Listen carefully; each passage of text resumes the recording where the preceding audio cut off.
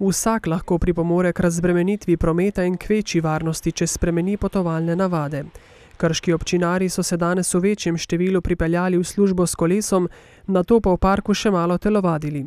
Jutri se jim bodo na skupni kolesarski akciji pridružili še Brežičani, Sevničani in Radečani. Iz Radeč bodo štartali do Brežic. Nekako tudi gre v sklop ideje Krkasava Bike, da bi eh, naredili povezavo med eh, na eni strani recimo temu vzhodom in zahodom, to je pomeni, eh, začnemo nekje pri Blanci in končamo nekje pri meji z občino Brežice. Predvidevam, da bodo oni tudi izkoristili gradno elektrarne, da bi lahko te poti namenili kolesarjem. V občini vsako leto naredijo kakšno kolesarsko stezo. Skupaj jih je prek 10 kilometrov. V tednu mobilnosti odpirajo dve. Zanimiva je tista v rudniškem tunelu. Dolg je 590 metrov, po njem bomo zdaj vzpostavili povezavo med Krškim in Brestanico, da ne bomo rabili več voziti po državni cesti.